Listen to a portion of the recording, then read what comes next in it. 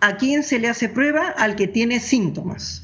El que no tiene síntomas no necesita prueba. Pero si porque el que está positivo sin síntomas no contagia. Asintomático no Y contagia. dice el protocolo, no contagia.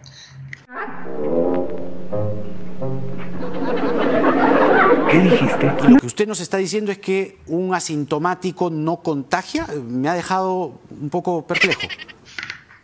A ver, cuando se hace la lista de personas positivas, Ajá. ¿se incluyen los asintomáticos? En ningún país del mundo.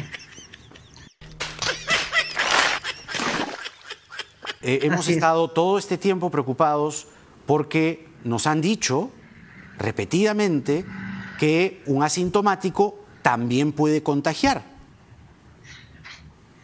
El asintomático contagia únicamente ah. en un porcentaje muy pequeño y cuando respira.